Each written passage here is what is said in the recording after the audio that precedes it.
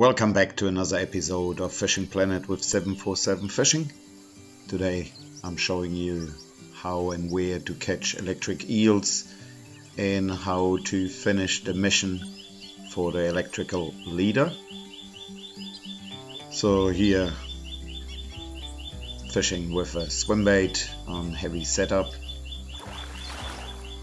and you easily can detect the areas where the electric eels are hunting with those electrical shocks and shock waves who are going across the water.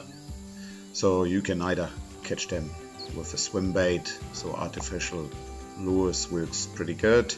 So here was one spot, all in that area there's quite a lot, so but you can also fish with a float setup, um, fishing with the sardines as the live bait and you can see those little electrical shock waves.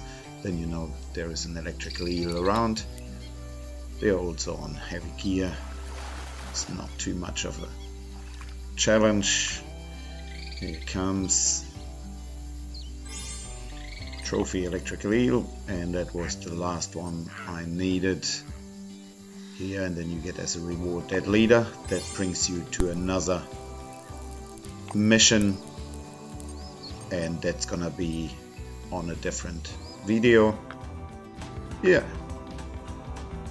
here's load the gear and just have a look at the next mission. Here you go. And that's gonna be on the next video. Hope the video helps you guys out. Please don't forget to subscribe to the channel like the video catch you guys on the next one